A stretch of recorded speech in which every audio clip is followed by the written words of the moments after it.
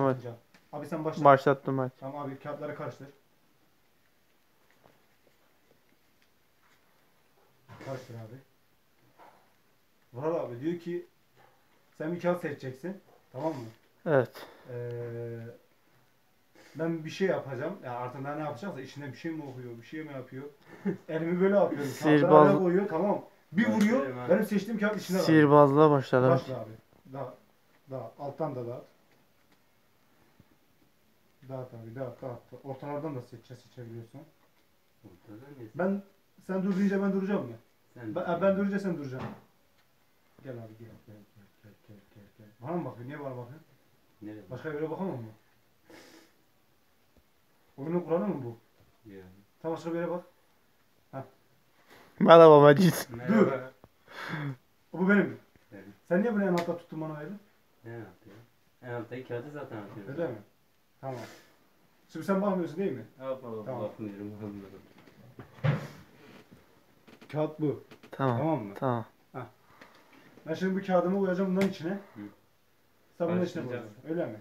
Oğlum zaten o kağıttan 4 tane yok mu? Hayır. Bir tane var ne dört Hepsinden birer tane. He. Anladın? Tamam. Tamam. Bak şimdi ben bunun içine Dört sokuyorum. tane var ama der biri ayrı ayrı. Tamam, sen bakma. var, Tamam, sen var. bak. Tamam. Sen bakma abi. İlk önce inanmadım. Gerçekten inanmadım. Daha ki harekete kadar ha. Meclis onu nasıl yapıyorsun? Ya, ya yapın bir. Şimdi Yapın. öğretecek bana. Bana öğretmezse bir yere gidemeyiz. Hayır. Öğretecek bana. Abi iyice... Ne yapıyorsun? Elini ne yapıyorsun? Bir şey mi yap? Bir mi Kartları istiyorum.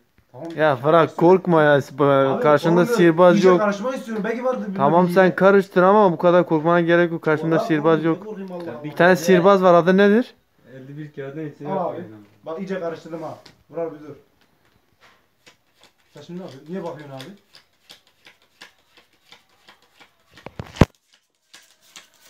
Kolum yoruldu lan.